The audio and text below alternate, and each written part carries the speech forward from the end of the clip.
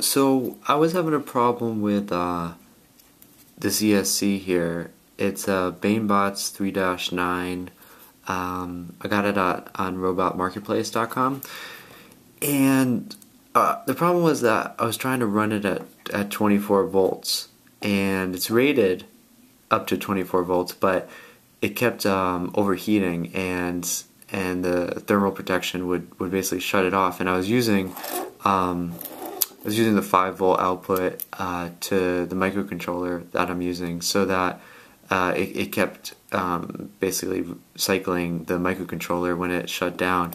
So it was a big issue, and um, what I ended up doing, what you see now, is is basically affixed it to this heatsink from a. Uh, it's from a graphics card from PNY graphics card, and so I took this heatsink and, and fan combo out, off of the graphics card, and then I took the ESC and and um, I basically took off the the rubber uh, coating from it just using a uh, utility knife and and cut it away.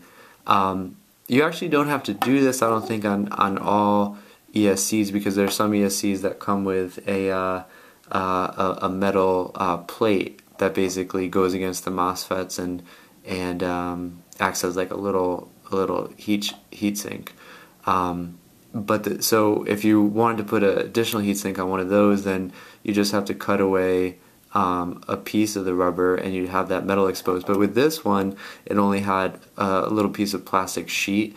So I had to, to get that off, I had to take off all the rubber coating.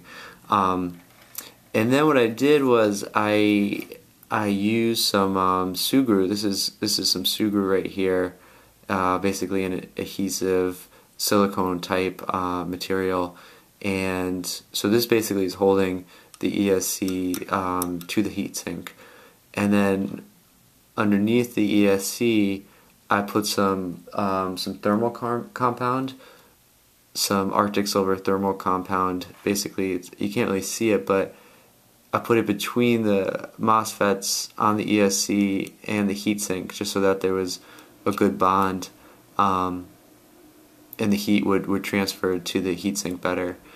And then also underneath the ESC, I put a couple pieces of, of uh, Sugru underneath it so that again it would it would just help it the ESC stay put and adhere to the to the heatsink.